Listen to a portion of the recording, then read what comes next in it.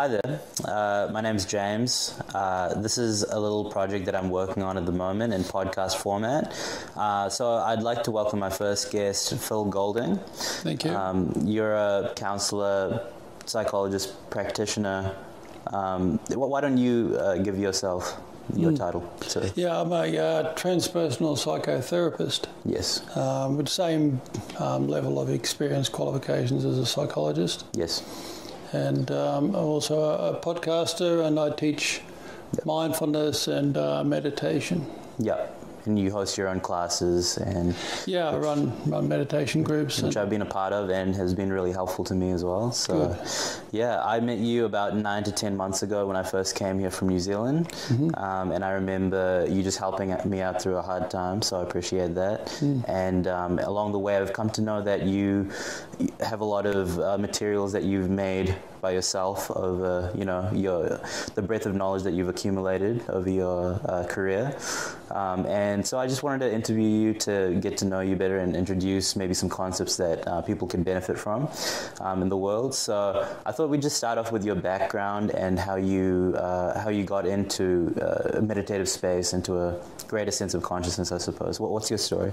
That you said that you um, got into a bit of a rut or depression um, yeah, so by the time I was halfway through my last, you know, senior year in high school, I was um, really breaking down. Um, I didn't, you know, I, I couldn't concentrate at, at school. I couldn't concentrate on my, you know, schooling anymore. And so I ended up leaving school halfway through that year. I just Okay. dropped out. yeah I didn't ask my parents' permission or anything. I, I just dropped out. I couldn't couldn't um, do it anymore. I just you know I, I just wasn't interested. I wasn't fitting in.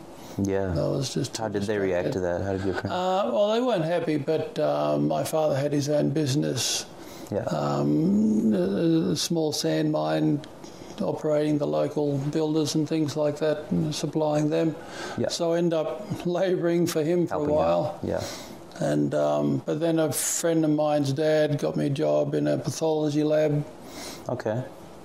and um, which was nice. I got to wear a white coat and feel important Yeah. and, and, and be a lab assistant. So I then ended up going to Sydney to do a, a course as as a pathology technician, but it wasn't me. And so by the, by the time that year had finished, I was in the same space really, and so I dropped out of that Yeah. moved back to my hometown, which was Tamworth.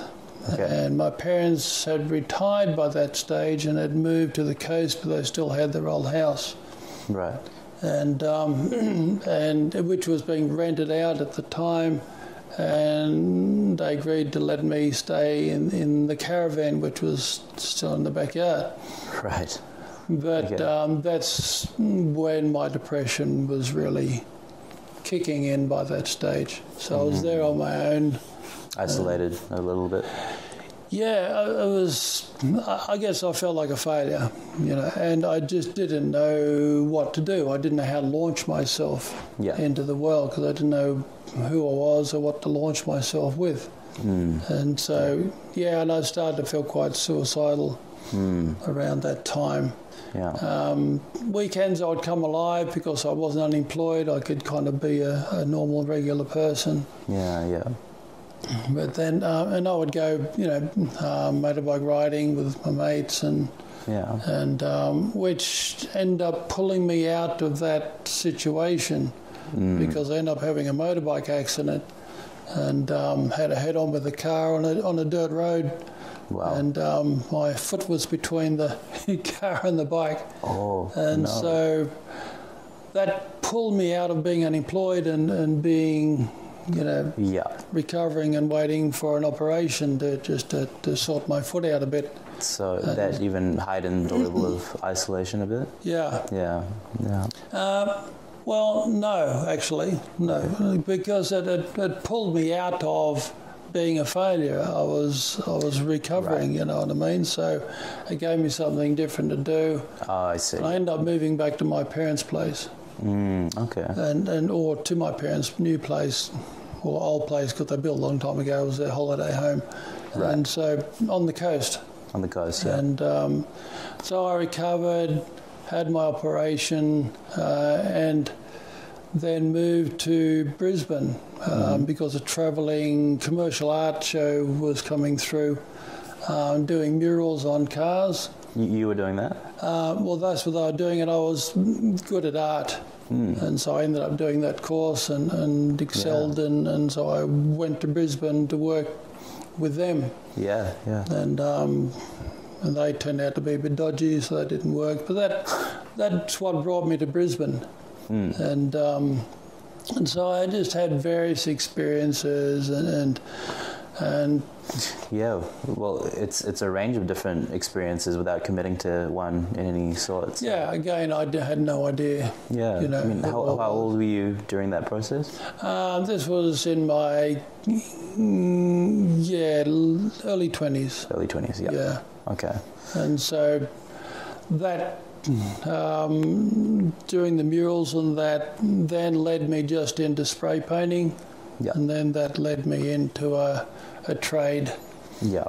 So, And, um, yeah, just trying new things, seeing what you like. Yeah. Yeah. and so, but then I um, end up meeting a, a lady and during that period um, who um, was an alcoholic. I didn't really understand that at the time, but then we got um, involved and you know and eventually and got married, and um, but I thought I was going to solve her alcoholic problem, you know, and, and um, so I got busy trying to save her and. Right. To maybe also get away from your own problems a little bit. Well, it certainly, yeah, you know. yeah. But uh, it was also really part of my nature, Yeah. which I didn't really fully understand at the time. Mm, But, um, yeah. But of course, all I did was, in trying to save her, get on the roller coaster ride with her. Right. and um, and eventually it got to a point where the alcoholism was getting quite bad. She was starting to get affected by alcoholic poisoning. Um, so seeing doctors and, and, and, trying to encourage her to go into rehab. And um, I ended up seeing a, one of the counsellors at the rehab Yeah. and you know, and, and I had a good counselling session with him, and, and it kind of woke me up to the fact that um, she's an adult, her life was her responsibility, and you know, and helped me to see that all my attempts to save her were futile. you know, all I was, like I said, all I was doing was getting on the roller coaster ride with her. So I was able to go home and um, just gently give her life back to her without dumping a guilt trip, without trying to manipulate or control. I just gave it all back, and um, and that, in a sense, like I was not enabling anymore. I wasn't, you know, Yeah. because the more you try to get in and control and save, you end up, you know, getting blamed. But the other, but the, the, the dependent person ends up relying on that, and Yeah, that's right. That's and so my handing her life back to her, I think, you know, um, put the gravity of her situation a bit more into her awareness. yeah. And Yeah. um, within a couple of weeks, managed to get her into rehab. Mm, okay. And, um, and she got 12 stepped um, by some AA members there. yeah. And um, And you were still so- you were still with her during that process? yes, Yeah. that's okay. right. And so she got on with her, um, you know, AA journey and quite excited about that. Um, but then my depression was still waiting for me, Mm, you know, and, you know, and it was quite clear that, um, you know, my life was still going nowhere. I still didn't really know, you Yeah. know, what I was doing or where I was going. mm, And um, but I took it along to one of the open AA meetings. So she'd have a car license at the time, and um, and that was a revelation because as soon as I saw the twelve steps banner up on the wall yeah. and had a bit of a read of it, it just seemed to spark some intuitive knowing in me. Mm, I just instantly knew it as as a path to personal development, transformation, awakening. Yeah. Even though I really had no real awareness about that. Mm. Because there was no real deep inquiry or self reflection in my family of origin. Interesting. Um, my parents weren't thinkers, yeah. and um, and um, my elder brother and sister weren't thinkers. My next brother up, we we would talk about stuff, but he was also the one bullying me, and and Right. so there was we could connect, but there was conflicting, Yes. challenging yeah. aspects there. So there was nothing in my family of origin or my education that really reflected, Hmm. you know, my potential, who I was, what, what I could do in the world, you know. But it seemed even then you had um, a sense of yeah that intuitiveness and knowing this personally deep within you. But it once you went to that 12 step and you saw them actually written down, you could actually feel like um, this was something that you were interested in, maybe, or It, yeah, it just sparked something, a, f- a knowing, you know, Yeah. something familiar about it. yeah, And, um, you know, and the fact that, you know, I was so devoted to trying to, you know, save my wife yeah, from the alcoholism rather than saying, you know, this is crazy, I'm, I'm just getting out of here, you know what I mean? yeah, It's, yeah, um, but it took me probably another six months before I went and found my own 12 step program. Mm. And so I, I could see that this was an opportunity, and so I inevitably end up finding my own. What 12 step did you need? Because Well, uh, the avenue of, of being married to an alcoholic, even though she was now sober, you know, gave me the opportunity to join Al Anon, which is for family and friends of alcoholics. oh, So I end up um, joining Al Anon, which is for family and friends of alcoholics. mm-hmm. And um, so that's the second biggest 12 step program. yeah, And, um, and so, but I, you know, wasn't there to get my um, partner sober because she already was, and which is often why people end up in Al Anon, but they soon discover that we're there to start getting our own life back together and, and, um, yeah, and give the other person's life their back, their life back, so they can yes, start taking responsibility for their own stuff. Yeah. Because of uh, the dependency, um, would you say it's kind of like a codependent relationship? Yeah, that's right. And Al-Anon really helped you break out, Break out of of that codependency. Yeah, But for me, I I um, used it for my own personal development. So I, you know, and so I was struggling with my depression, and, and so. Um, Yeah, so I was using the, the 12 steps to, to start to look at myself. One thing about the depression was it an underlying feeling that you constantly had all the time and that you didn't recognize or name it or label it, but it just existed? Or did you know that this is like what I have right now is depression? I wasn't very trusting in terms of I never went to a therapist or talked to a doctor about it. Um, but I, all I knew it was that I would easily feel defeated, and um, but I would also feel that, that there was something important for me to do, but I had no idea what it was. And so I did not know how to launch myself into any direction. And so I would tend to just implode. Mm. And so um, addictions weren't useful to me. I, I tried alcohol when I was young, but that that didn't give me any euphoric feeling. All it did was make me feel sick and throw up, and, and so you know, Of it course. didn't didn't make me feel any better. So that didn't work. Same coping mechanisms exist today, yeah. Yeah. So I um, I slept and watched TV. That was my coping mechanism. I just would veg out, and What would you watch on TV? it's just anything. Just anything, yeah. Um, at the time, Australia was losing to the West Indies on cricket, so that, was- that was good to suit my mood, Back when the West Indies were good. Yep. you know. but when I was in, you know, my parents' backyard in the caravan, that's what I would do all week. I would just sleep. Right. Yeah, that yeah, that makes sense. Mm. Yeah. Okay. And so um, you're in this Al- Al-Anon group. Yeah. And uh, is is there anyone who kind of uh, reinforces this uh, desire in you to change, or is it is it a long process of self-reflection? Well, the whole point of the you know 12-step program is to go through the steps and, and go through the program and and all, all, the meetings are about sharing that and sharing our experiences and and the meeting is often focused on a particular step in your range through the 12 steps. Yeah. And um, you know, and, and the first step is admitted we were powerless over our goal and our lives have become unmanageable. You know, and and that that's an acceptance step, really. You know, it's accepting that I, I haven't got a clue. You know, I, I don't know what is going on. Yeah. Uh, second step is kind of believe that a power greater than myself could restore me to sanity.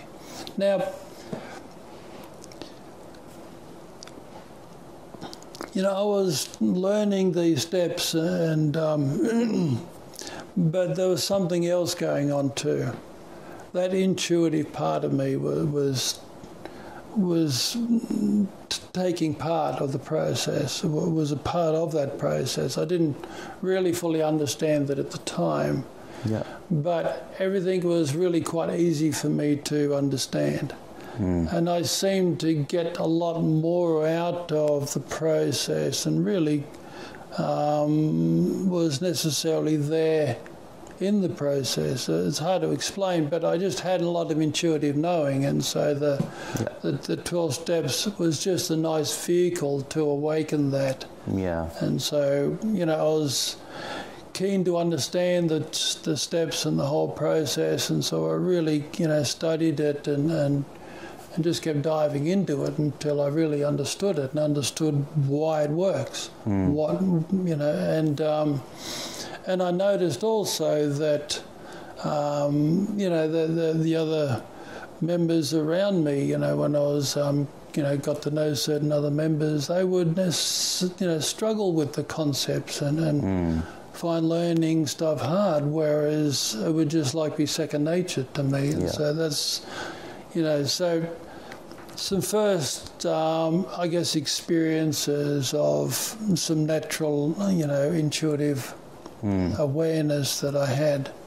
Okay. And, um, but again, I still didn't know that that was going to be a career path or a vocation. Yeah. As yet, but I was certainly learning about, you know, how to heal the mind. Yeah. And how to be able to face myself, turn around and, and face my depression. Hmm. Was there any one step where you just had like a, a particular revelation in the 12 steps or? Well, it was. I wouldn't have been in the beginning, you know, the, the first few years to be able to explain in any real clarity why it was working. but um, what it certainly did in the whole, you know, embrace and atmosphere and ethos of the groups and the, and the program was about acceptance. It was an unconditional acceptance mm. of you as a person. Yeah. And, um, you know, and, and, really mentored me into accepting myself as I am. Okay. And, um, and which enabled me to start looking at myself. And so that leads you into, I think, step four is make a searching and fearless uh, moral inventory of yourself. Mm. It, it's a little bit of old language because I think it was developed around the 1920s. Right. But so, um, yeah. but it's, it's, really you know it's, it's self inquiry. Yeah. Let's it, and that promotes personal responsibility. Yeah. For your own mind, you know, for what what your mind is doing to your life. Mm. But at the same time, it does that with self acceptance. And yeah. so that enabled me to turn around and start to have a relationship with my own mind. Mm. Um, but not be beaten back by all my self judging, which mm. is ultimately what was causing my depression. I was just corralled in yeah. by self judgment, thinking I was a failure in some way.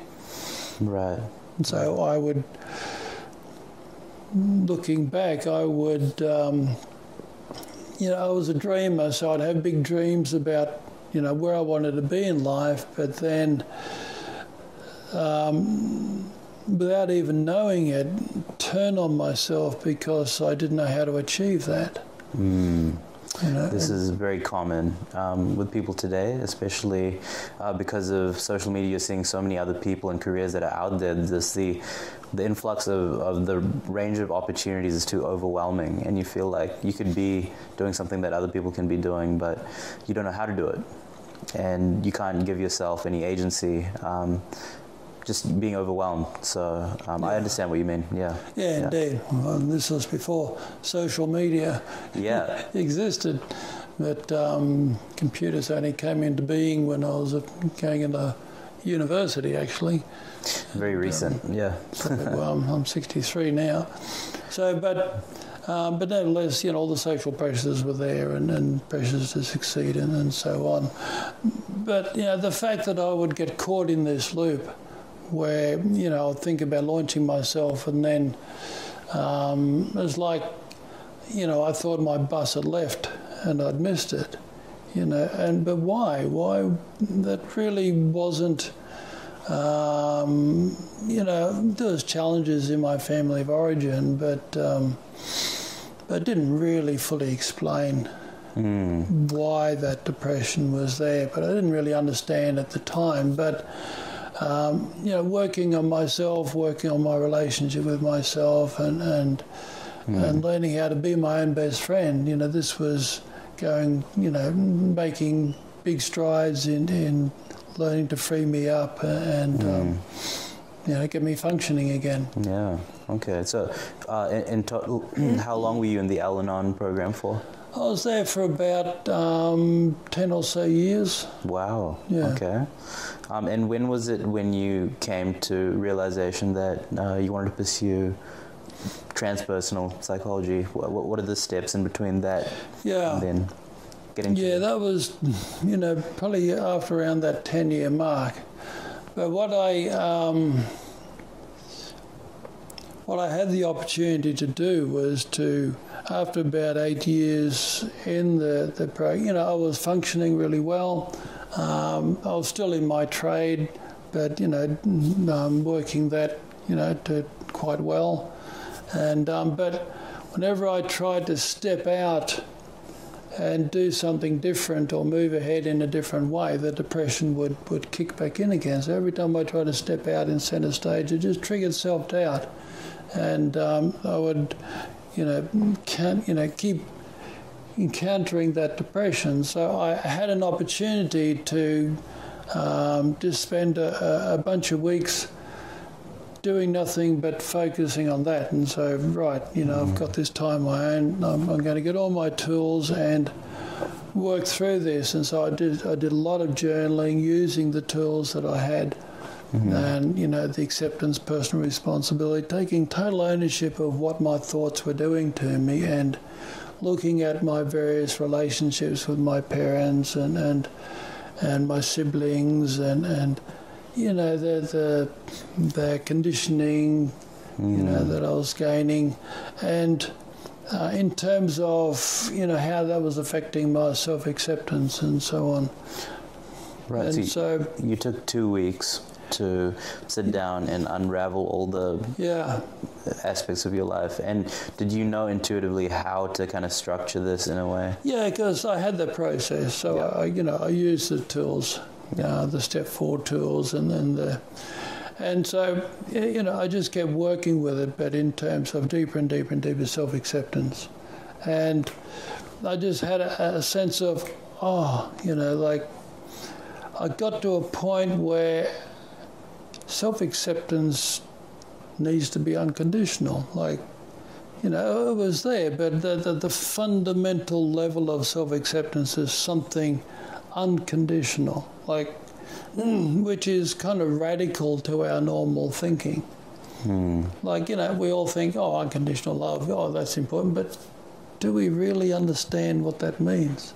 You No. know, the fundamental nature of it.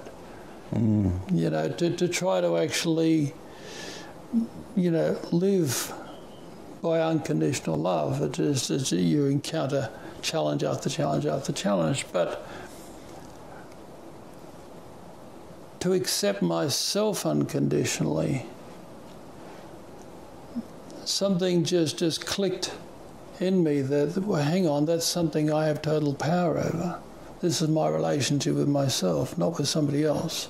Mm. I'm not relying on somebody else to love me unconditionally. You know, I can't control that. I can't.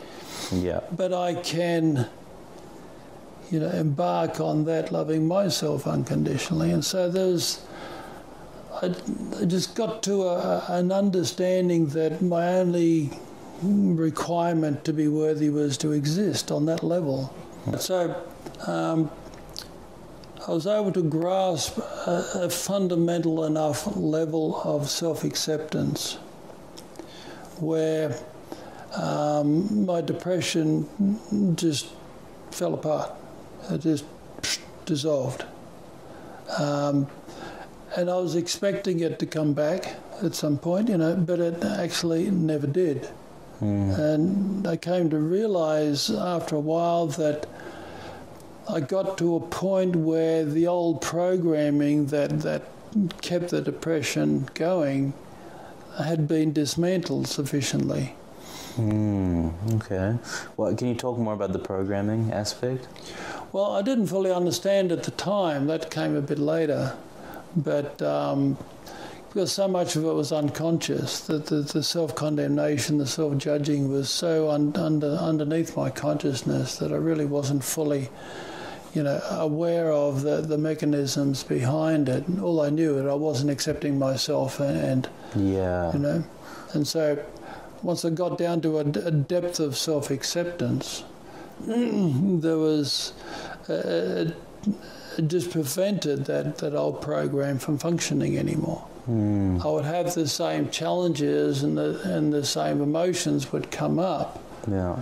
Um, but when the thought would come up to you know judge myself or condemn myself, um, there'd be nothing reinforcing it anymore. I wasn't identifying with those thoughts anymore. You, you, took the power away from it. Yeah. Yeah, because my identity now was accepting myself unconditionally. That, that's the big one, I guess, is the identity that you wanted to have, or like you thought you were supposed to do amazing things, and then you just ripped out that sense that you need to be someone, and then you yeah. just accepted yourself in the moment. Yeah. yeah, so basically, I got to a point where I didn't have to do anything to be worthy. That's it. You know, it's, so I freed myself of all that, all those constructs that were, you know, you've failed, you haven't measured up to this, or haven't done that, and therefore you've, you know, you're not worthy. And so basically, you know, my own mind was kept casting me out of life, if you like. You know, okay, you haven't measured up. I think that uh, in Western culture, this is kind of the procedure that we have to go through, like especially is talking through childhood conditioning, through school system. We have to be someone, get out of school, get a job, and then that way you have acceptance by your peers and your mm. family, um, and you have you know, I guess you have a goal as well, um, and you have a sense of identity through that. And as long as you keep trying to pursue something, the, the problem is that something is outside of yourself. Yeah. And so I guess it's a part of our conditioning being a part of this uh, Western society as well. Yeah, indeed. You know, yeah. and for most of us, it works good enough. You know, we can manage to control those elements good enough and, and keep distracted in those um, but either we, you know, have trauma or conditioning that becomes too problematic and that gets in the way of us trying to actualize ourselves and, and build our life, and we keep hitting a wall. And mm. it's that suffering that, that causes us to have to look within. Yes. And um, and so that was happening for me. I was trying to launch myself. I couldn't even get to the starting line of launching myself. Yeah. You know, before it would keep start kicking in, and so. Yeah, and do you think if you had that acceptance back then, uh, you would have made different choices? Oh, um, of course. Yeah. yeah. I think that the what was happening here though was was. Um, you know, my own um, desire to know how it works, my own desire to um, develop myself, to heal and to grow, um, was largely an intuitive thing as well. And so, um, so where we moved on from here was I started to realize that, like in in the 12-step program, as you become experienced, you start to mentor those less experienced, you know. Mm. And so by this stage, I was, you know, what's called sponsoring, you know, other members, and and um, you know, and uh, it was my happy place. Yeah. You know, and it was a, it was a natural thing for me, and uh, I could see that, you know, I could reach people, and and I really enjoyed this, and um, yeah, I got to a point where I realised, um, you know, counselling, you know, could be a useful mm. um, avenue to go down, and Absolutely. so then that that took me into uh, an actual um, you know, learning and an, an inquiry avenue mm. into psychology and, and um, yeah. And when I started delving into psychology, I went straight into existential psychology. Mm. Um, again, from that intuitive perspective, um, they don't even really, they don't teach existential psychology much at university because it's a very ex- experiential what do you mean by existential psychology? Okay, existential psychology is um, like the likes of Viktor Frankl, um, who man search for meaning. Yeah, the man's search for meaning, who started his, you know, um, self-inquiry journey in a German concentration camp as a as a, as a, as a Jew. Yeah, and um, but he noticed um, that those who accepted life and didn't see themselves as a victim but accepted the circumstance in the present moment and did their best to work with it fared much better than those who were fighting against their conditions and seeing themselves as a victim and and hating the abuser, and mm-hmm. so all of that would be bringing them down and, and affect their health. And right. so we just noticed that that you know, that level, you know, that radical level of acceptance mm. Enabled a far greater resilience. Yeah. And so existential psychology is very much about accepting the reality of life, not arguing with it, not fighting with it, but flowing with it. Mm. So it, it, faces death, it, it faces anything that is going to cause you fear or anxiety or insecurity. You turn around and you face it. Mm. Okay, so just as a kind of side topic is if you're supposed to accept your situation as it is mm. and you have a goal and you know that you're not, you know, very functional or productive as you are as yourself. Yeah. How do you make that um, step-by-step process to getting to your goal? Is it actually inquiring yourself and seeing if the goal is realistic or if it's actually what you want? Well, it's also accepting the fact that you're getting in your own way of the goal. So this is back to accepting yourself. Yeah. And part of my accepting myself is I had to accept that I kept mm, suffering depression.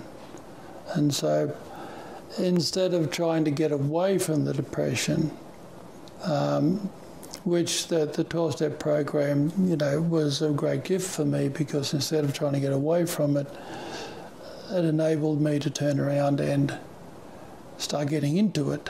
Mm. Know, the, the, the fact when we try to get away from the depression, take pills to, to try to fix it, and you know we're in a sense afraid of the depression we're afraid of the mm. you know we're afraid of our own mind if you like yeah. so we're in conflict with it in, in the way we we are giving that malady power yeah so instead i was able to face it accept it not judge myself because i had depression but to really go in like a scientist with a clipboard and go, well, isn't that interesting? Let's see what's going on here. Mm. You know what I mean? And as you opened, um, as you would say, Pandora's box, yeah. then you found that the depression didn't have any grounds to stand on. It just disintegrated. Well, once I got to a deep, a depth level of self-acceptance, mm. Yeah, because when the old program came up, the new program of unconditional, that radical level of self acceptance came up with it and just neutralized it. So, this is the power of acceptance.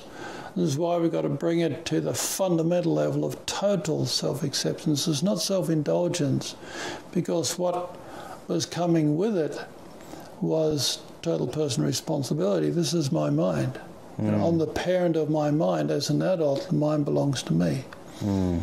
But it's a, it's we've got to treat it as a living thing, like our own child. How are we going to parent the child with unconditional love? But we take responsibility yeah. for that child. You know what I mean? We teach the child responsibility, mm. and, and so it just enabled me to really grasp those two principles and put them to work mm. to align my awareness to those principles and then face my mind yeah.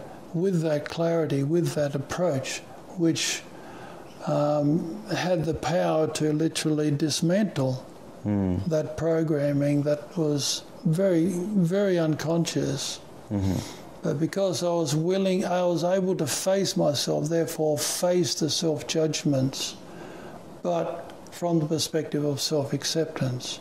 Mm. And so that would, I would know, I would see the self judgment, I would feel it, but I was no longer believing in it. Mm. I was no longer identifying with it. And so I came to understand that the mind will only keep going with its program so long as me as awareness keeps believing in it and reinforcing it. Mm. And that's the position of the ego. The ego is our ego is our potential for awareness, for consciousness, but it's captured by the mind and serving the mind, so I can't get above the mind. Right. That's why the ego gets a bad name. And so the ego is identifying with those programming, with that conditioning, mm. with that blind conditioning, you see. But, and it is blind. Yeah, the ego is blind. Yeah. Yeah.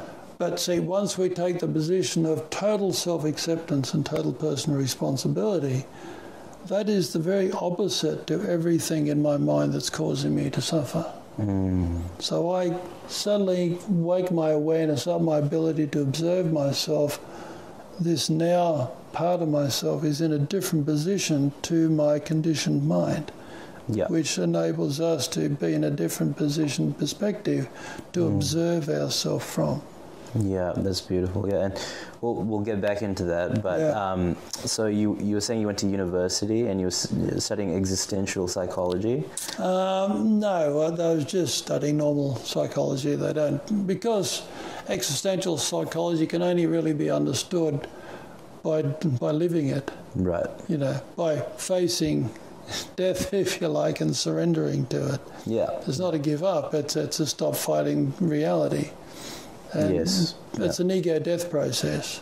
Mm. And so, you know, you, you, you, can't intellectualize your way through that. You, it's a letting go. You have to confront it. Yeah. yeah. It's simply looking at reality, pointless arguing with reality, let go to reality. Let you know, it's, mm. it's, even it's a struggle to even talk about. You know, your construction of reality. It's about letting go. Yeah. Yeah. It's a total acceptance, total personal responsibility. Mm. You know, okay. it's no good blaming the world for what my mind is thinking. Yes. you know, mind, once we're an adult, it's understanding once we're an adult, the world doesn't make us think. Therefore, the world doesn't make us feel or say or do the things we do. We, we do. It's, it's coming from our own power, whether that's conscious or unconscious. Mm. And then you get into a victim mindset where you you believe you don't have any agency in yourself, and that's how you get to depression again. Yeah, to yeah. the degree that you blame something outside yourself for what you're thinking and feeling, is the degree that you're not going to have any control over it. Yeah, but in reality, it's probably it's probably a mix of the two. It's probably a mix of the environment around me is conditioned me to um, be a certain way, as well as I'm not trying hard enough or I'm not? It's, it's, it's challenging because, you know, the normal world, let's say, is 49 to 51% insane. So therefore, I mean, they don't really teach existentialism that much at university because you've got to live it. It's, it's a process of letting go. Mm. letting go of you know futile control. Yeah. Okay, but um, and so you know I was learning psychology. Um, I ended up learning. Um, well, my first stint at university, I, I was doing psychology. I, I got in at a, at a country university. Um, I didn't have a big range of subjects. I wanted to. I was doing a bachelor of arts, so I wanted to get a wider range of subjects. So after the first year, and I did pretty well, Yeah. I bridged back to Brisbane, to one of the major universities, and, and doing psychology there. But then I hit a wall because um, the psychology of that university was very dry, very research based, and I'm more feeling based and Hmm. Yeah. intuitive based, and um, and so there I had to be excited about statistics and and um, it, yeah, it just wasn't. Why do you think they They- structure it that way? Um, it was just more research orientated, and um, and so and it didn't facilitate my stream of psychology, which was yeah, which was more humanistic uh, and more existential. Yeah. So, um, but I ended up cutting that down to a single major, the psychology, and, and dived into the comparative religion department Mm. which is not theology, but it is exploring um, spirituality and religion in all different ways. So I could study Buddhism, Hinduism, um, and mysticism, and, and Jung and Freud, and and, And, so and why did you take that path? I was just interested in more depth, more meaning, and um, uh, depth psychology is, is one of the terms for it. Um, and really, it, it was transpersonal psychology for me. It was an opportunity to keep exploring psychology through those particular streams, but from a spiritual and consciousness perspective. Yeah. And so So give you that balance. Yeah. yeah, and so therefore I, um, I didn't come out as a fully qualified psychologist, but I came out with a, with a lot of tools and. Um, but I'd already knew how to heal my mind before I even started, Mm. because I'd already done Yourself. that, yeah. that healing, which was very useful because it helped me to um, get the most out of it, but it also helped me understand that mainstream psychology was still, um, you know, working on the surface of things so much, which made it so much more complicated. But if you just go into the depth Mm. and get to those two principles of total acceptance, total personal responsibility, Yeah. That would be tweaking it right down at the fundamental cause of things. All of this stuff would start getting taken care of by the shifts that would occur down at this I level. mean, you wouldn't have meditations and uh, sessions at university, would you? no, and there's no self inquiry either. You can go through mainstream university, through undergraduate, master's, doctorate, never have to look at yourself. Well, that's the thing. You're playing for a status game as well at the same time. I guess For, so. for those who pursue that. Uh, it is. It, it's it's yeah. It's become a bit like a religious doctrine in some ways, in into the conservative aspect of it. But you know, but at the same time, you know, mainstream science is important. It's grounding, and and you know, it's important to understand and learn the scientific method. Mm. You know, empiricism and, and things like that. You got to get your feet on the ground. Mm. You got to be able to see things with clearly. Yes. But at the same time, it, it you know, it, it put thing in, in into a box, and I wouldn't look outside that box. Mm. And um, your own personal path um, really isn't included in it. Yeah. And in transpersonal psychology, um, your own personal path is very much central Mhm. to that. If you can't evolve yourself, then Yeah. you know, and so that ability to face yourself and, and to break down your own ego and awaken that Yeah. into awareness, Absolutely. I think it is very important. I mean, to me, that's where I've learned most of my um, experience and knowledge. And um, Yeah. the university was frameworks and, and Mm. you know ways to articulate things. It's um, yeah, speaking to the intellect. Um, but not the emotional intelligence, I suppose. Well, when it comes to the, the real deeper alchemy of things, Yeah. um, you only learn that by the initiate, initiation of facing your own fears, insecurities, Mm, and okay. breaking through that. Yeah. You, you know, your ego's, you got to learn how to die on an ego level to let go Yeah. of those fears, insecurities, attachments, and aversions. Oh yeah, for sure.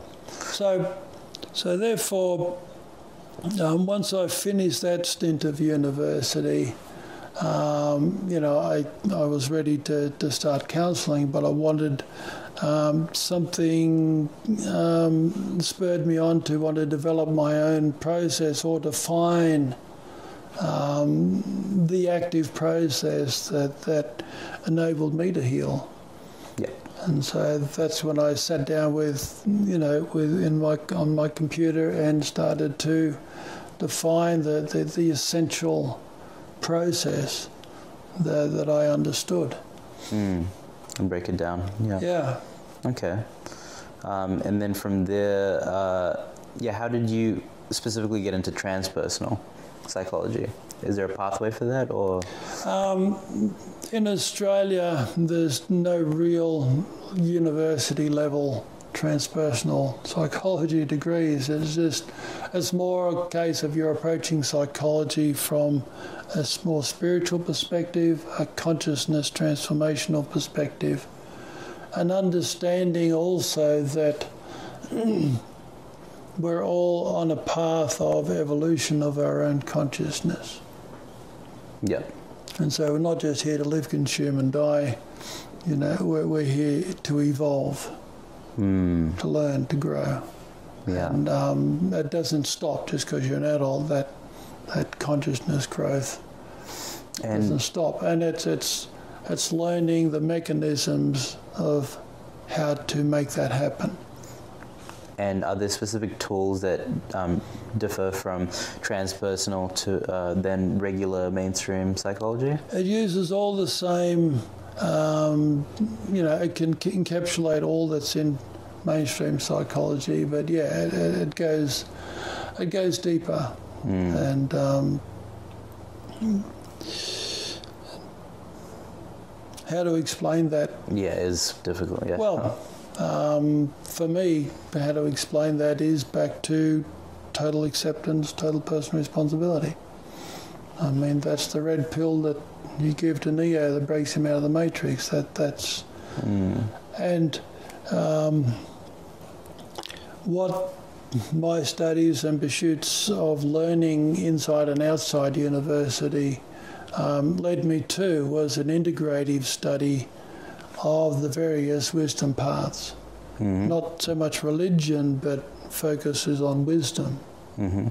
And so studying that from Hinduism, Buddhism, um, the Jewish Kabbalah, which is the wisdom aspect of it, the, the Sufism, which is the wisdom aspect of the, the Muslim traditions. Well, it makes sense to take wisdom from ancient uh, people, the way they lived, and if it survived this long into our society, I think it deserves to be studied as well. Yeah, but the, the wisdom path is uh, meaning wisdom, meaning um, you know personal transformation. That you know how each culture was able to define the keys that unlocked our Right. potential to evolve. And you saw all the patterns that existed within there- those, and And, and and many other people have been you know doing that integrative study and. And of course, they were coming up with the fact that everyone was saying the same thing. Once you understood the symbolism and the cultural, you know, language and so on, yeah, at the end of the day, um, what works works. It's a physics. that's right. Yeah, And lo and behold, total acceptance, total personal responsibility just kept coming up. Yeah. And I've never found those principles contradicted. no, They are universal. mm. yeah, no, that's very important. And um, how many? So, how many years of uh, counseling did you do um, after graduating? Um, well, um, um, it's been about 25 years Twenty-five now years. Yeah, from counselling. yeah. Well, that's brilliant. And Yeah. um, if you want to talk a bit about um, your your book that you have and how Yeah. that came into into being. Well, let's track back a little bit because um, when I sat down to um, define that process, that the five steps pretty well come out straight away. Mm. And so I, I um, my intuition and the um, all that I've been learning, you know, just seemed to come out in in that simple process that I'm still using today. Mm. And so it started off as, as just a, a little essay on the, the, the five steps, and then that turned into a booklet, and then eventually that turned into a book, which is now the second edition of that book. Yeah. So that whole thing was written from not just an academic perspective, but a purely, you know, very much an experiential. Mm. Um, and then um, from the experience of using that as a therapeutic process with with my clients and students, Mm. and so and Yeah. uh, again, it, it, it's, it's proved its effectiveness, Yeah. and those five steps have continued to evolve, but but remain throughout that whole thing. um, and going into depth. And I'm looking forward to going into depth with you more about it in the future. Um, but would you like to just talk about your book for a minute? And, yeah, uh, um, second edition of my book, Five Steps to Freedom, Path to Inner Harmony. So this is the, the book here, my um, Five Steps to Freedom, Path to Inner Harmony and Personal Growth. It's the second edition. There's about 20 odd years of development in this yeah, through my own path and then, you know, working with others for all that time. yeah. And so, All, so all the wisdom is you were talking about. help So- you heal and grow, and so it really introduces you to the five-step process and how to put it into practice in your life. Beautiful. And um, and then there's also my podcasts. I've got three podcast uh, you know, series at the moment, a fourth coming very shortly. So uh, the first is Real Healing, Real Awakening. I did that quite some years ago. The latest one is Five Steps to Freedom. Yep. And um, and uh, then I've got a, a series of me- guided meditations, which I'm still adding to, and as well as the Five Steps to Freedom.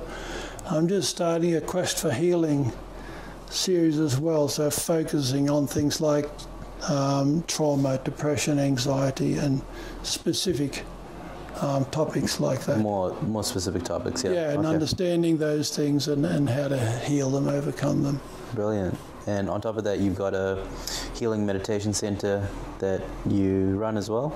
Um, yeah, I run meditation, mindfulness groups, Cool. self-awareness groups. you can just probably find it on, on the website, on your website. Yep. Yep. yeah, but it's all on my website, innerharmony.com.au. Brilliant. Awesome. Well, thank you for all your knowledge, Phil. I appreciate it, and I'm looking forward to talking to you in the future. Thank you, James. All right. Look forward to it as well.